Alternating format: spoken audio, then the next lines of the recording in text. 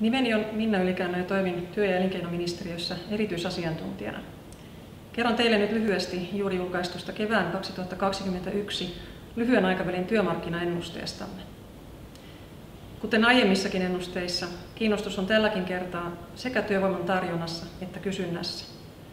Olemme mallintaneet ennusteet vuosille 2021, 2022 ja 2023 niin työllisyydelle, työvoiman määrälle kuin työttömyydelle. Ensin hyvät uutiset. Tämän kevään ennusteemme on positiivisempi kuin viime vuoden vastaavat ennusteet. Työvoiman määrän ennustetaan ennusteperiodilla hieman kasvavan ja työllisyystilanteen parantuvan. Hyvä uutinen on myös se, että työttömyyden ennakoidaan vähenevän. Huono uutinen on kuitenkin se, että pitkäaikaistyöttömien määrä jatkaa ennusteemme mukaan kasvuaan vielä vuoden 2022 alkuun asti. Uusin ennusteemme pitkäaikaistyöttömyyden kehittymisestä on pessimistisempi kuin aiemmat ennusteet. Tämä johtuu siitä, että pitkäaikaistyöttömyys on kasvanut ennustettua nopeammin, eikä kasvu ole osoittanut hidastumisen merkkejä. Yleisesti koronakriisi on nostanut työttömyyden tason ja ennustamme, että kuluvan vuoden syyskuussa työttömiä työnhakijoita on 70 000 enemmän kuin vastaavan aikaan vuonna 2019. Kokonaisuudessaan työttömiä työnhakijoita ennustetaan olevan kuluvana vuonna kuitenkin vähemmän kuin vuonna 2020, johtuen ennen kaikkea talouden elpymisestä.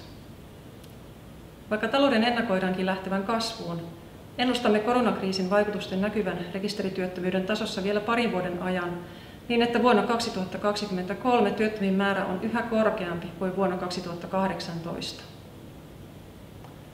Rekisterityöttömyyden ennakoidaan myös palautuvan koronapandemiaa edeltävälle tasolle hitaammin kuin työllisyyden, mikä ennakoi työttömyyden rakenteellistumista.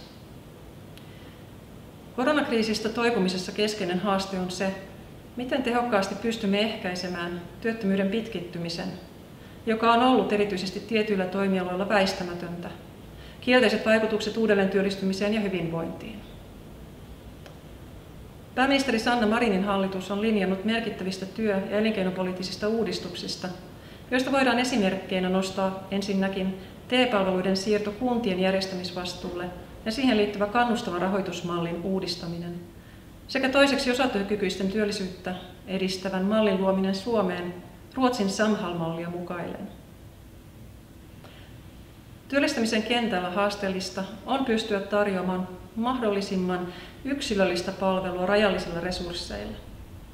Hallituksen linjaamassa pohjoismaisessa työvoimapalveluiden mallissa pyritään tehostamaan uudelleen työllistymistä lisäämällä henkilökohtaisten kontaktien määrää etenkin työttömyyden alussa. Vuoden 2022 aikana voimaan tulevassa uudistuksessa TE-toimistoihin lisätään henkilöstöresurssia mutta samalla kehitetään palveluja ja palveluprosesseja. Löydätte uusimman ennusteemme työ- ja elinkeinoministeriön kotisivuilta. Sieltä löytyvät myös aiemmat ennusteet sekä muut ministeriön julkaisemat selvitys- ja tutkimusjulkaisut.